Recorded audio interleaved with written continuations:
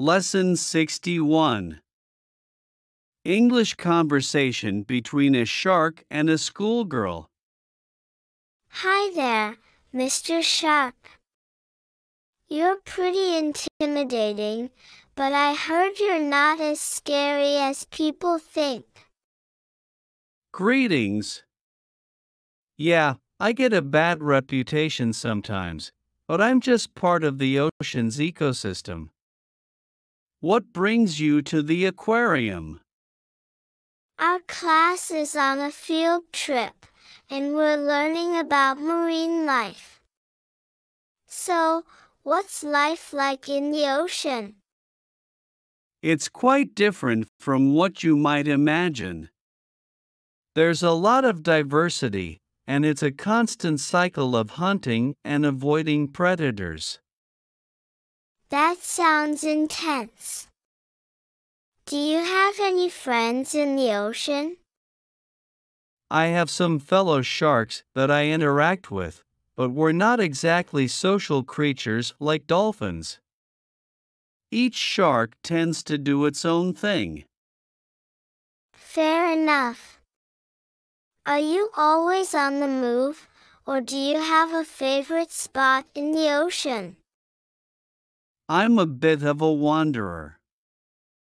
I travel long distances to find food and explore different areas. The ocean is vast and full of surprises. That sounds like an adventure. Do you ever get curious about what's happening outside the ocean? Well, I've seen boats and divers from a distance. I guess it's a different world up there. What's it like for you on land? It's interesting. There's a lot to explore, and we don't have to worry about predators like you do. But we also have our own challenges. I see. I've heard humans can be fascinated by the ocean.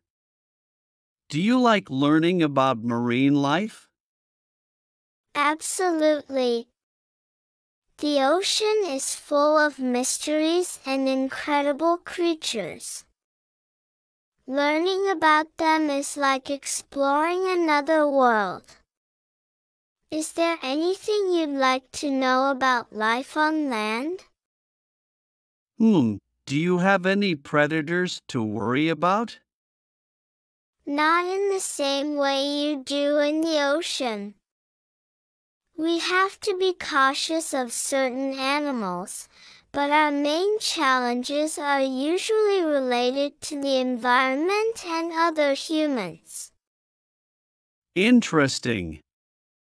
Well, it was nice chatting with you. I hope you enjoy the rest of your field trip. Thanks, Mr. Shark.